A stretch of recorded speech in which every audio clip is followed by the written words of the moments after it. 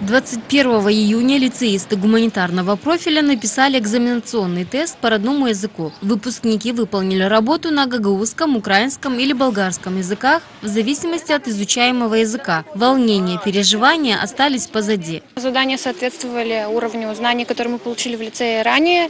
Э, Были некоторые сложные задания, над которыми пришлось подумать немного дольше. Эм, Сложно было синонимы подобрать, не все слова я знала. Э, Ну так, в- общем, работа была нормальная, можно написать на хорошую оценку. Э, Тема сочинения «Труд и э, усердие» – это счастье. Да, я написала, не знаю, посмотрим, будем ждать результатов. Очень рада, что уже наконец все экзамены позади. Жду уже, когда результаты будут известны, тоже очень переживаю. Надеюсь, что все сдала. Э, Ждем выпускной тоже порадоваться, отметить, наконец-то уже школу закончили, так долго этого ждали, повеселиться. Я по максимуму старался писать, э, соответствовать объему, чтобы количество баллов тоже соответствовало. Потом катарсис наступил, и больше ничего не хочется. Сейчас только прийти домой и отдохнуть.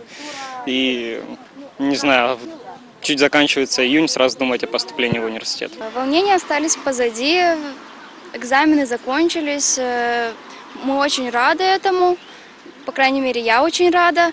Э, Хотелось бы э, после экзаменов получить очень хорошие результаты, чтобы это было не зря, старания, все 12 лет э, мы учились, учились, старались. Завтра выходим на площадь праздновать День выпускника. С того момента, как будут оглашены оценки по всем экзаменам на степень бакалавра, у выпускников будет 48 часов для обжалования результатов экзаменационной сессии. Окончательные результаты будут озвучены 6 июля. Все кандидаты на соискание степени бакалавра смогут ознакомиться с проверенными тестами после того, как работы будут отсканированы и размещены на сайте bac.edu.md. Информация будет доступна в период с 27 по 28 июня.